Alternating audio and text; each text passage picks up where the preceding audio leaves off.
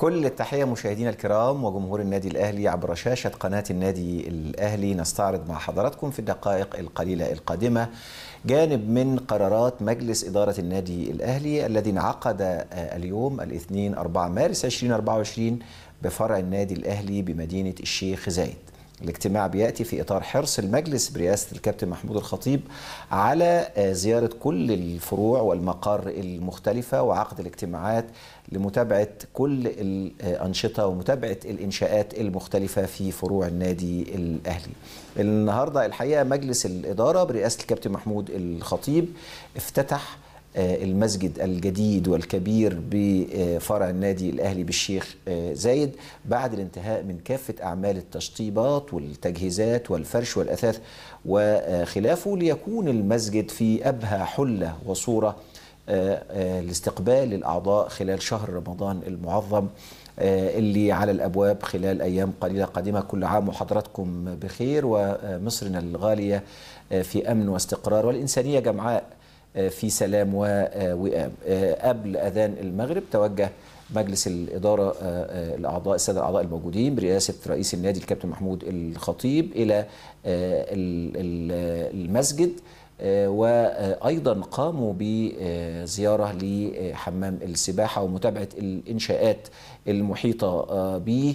وكمان كان في توجيه من الكابتن محمود الخطيب بضرورة الانتهاء من كافة المشروعات في المواعيد المحددة للأعضاء. كان المهندس سامح علي كامل المستشار الهندسي لمجلس الإدارة قدم شرح وافي لما يتضمنه المجلس اللي المسجد الذي يعد الأكبر بين جميع المساجد في فروع النادي المختلفة لأنه مقام الحقيقة على مساحة 4000 متر مربع وبيسع ل 1030 مصلي وبيضم أيضا مصلى خاص للسيدات وملحق به دورات مياه للوضوء وكذا تندات للمصلين خارج المسجد ومنطقة كبيرة لجلوس الأعضاء.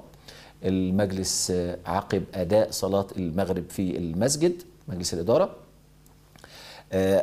الحقيقة التقط صورة تذكارية. برفقة أسرة المرحوم الوزير العمري فاروق نائب رئيس النادي اللي كانوا متواجدين وتم دعوتهم بالطبع لحضور افتتاح مسجد الشيخ زايد في النادي الأهلي وأيضا الحاج جمال الجرحي أحد رموز النادي الأهلي. يعني هذه بشرة خير وبشرة طيبة إن شاء الله قبل شهر رمضان المعظم. وفرع الشيخ زايد بيشهد نهضة إنشائية كبيرة جدا. ومن المقرر أن تنتهي معظم الانشاءات أيضا في غضون أسابيع أو أشهر قليلة قادمة. اليوم أيضا في قرار آخر لمجلس إدارة النادي الأهلي محمد الضماطي رئيسا لبعثة الأهلي في السعودية. تفاصيل بتقول أنه مجلس الإدارة برئاسة الكابتن محمود الخطيب قرر تكليف السيد الأستاذ محمد الضماطي عضو مجلس الإدارة برئاسة بعثة الفريق الأول لكرة القدم المتجهة إلى المملكة العربية السعودية الشقيقة. صباح يوم الأربعاء المقبل للمشاركة في المباراة النهائية لكأس مصر يوم الجمعة المقبل بمدينة الرياض العاصمة السعودية.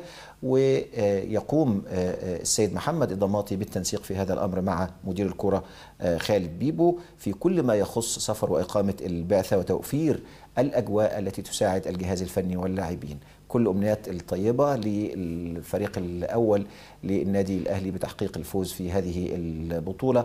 وتقديم مباراة يعني تليق باسم مصر وبحجم العلاقات الخاصة والمتميزة جدا التي تربط البلدين الكبيرين الشقيقين مصر والمملكة العربية السعودية. بشكر حضراتكم على حسن المتابعة. كل عام وأنتم بخير ودمتم في أمان الله ورعايته.